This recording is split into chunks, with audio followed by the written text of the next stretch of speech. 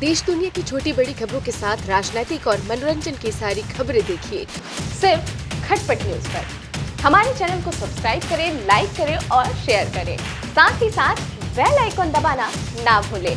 खटपट न्यूज़, खबरें थोड़ा हटके।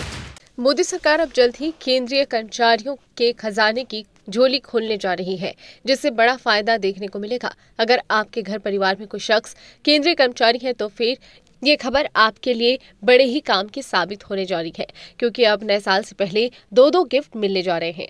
सरकार महँगाई भत्ते में बढ़ोतरी के बाद डीए एरियर खाते में डालने जा रही है, जिसे लेकर हर किसी के चेहरे पर मुस्कान दे रही है। केंद्रीय कर्मचारियों को ये सवाल परेशान कर रहा होगा कि मोदी सरकार अब कितने फ़ीसदी डीए में बढ़ोतरी करेगी।